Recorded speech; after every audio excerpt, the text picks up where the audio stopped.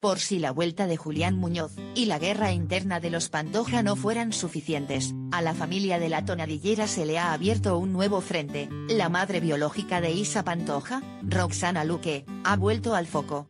La peruana ha concedido una entrevista al canal de YouTube Juan Cablog donde ha confesado que lo que más anhela es reencontrarse con su hija un deseo que ya expresó en 2015 en el plató de Sálvame Deluxe, y al que la hija de Isabel Pantoja respondió confesando que no tenía interés en ver a su madre biológica.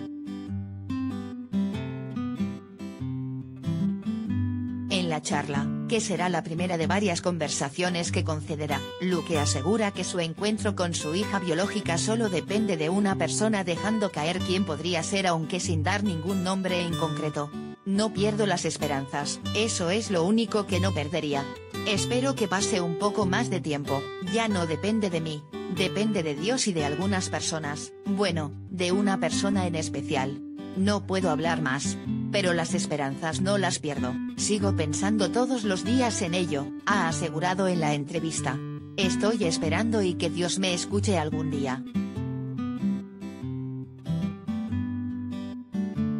Isa Pantoja en el plato de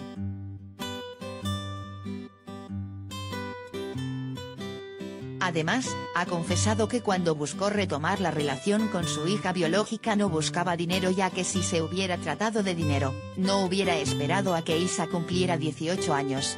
Sé que no debería de hablar de Isa porque de repente se molestan pero no es como todo el mundo piensa, ha asegurado la peruana que pedía que no la juzgaran sin conocerla, destacando que esta entrevista ha sido concedida a un modesto canal de YouTube sin cobrar porque no tengo necesidad. Mi situación económica precaria fue hace muchísimo, cuando fui niña o tuve a mi hija que no tenía respaldo de nadie.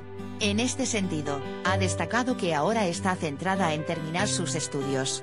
Soy una más de las personas que hay acá en Perú que no tienen la oportunidad de estudiar, de ser allá en la vida, y quisiera que tengan a alguien que les pueda representar. En este caso yo quisiera llegar a algo más, me gustaría postular al Congreso, ha anunciado.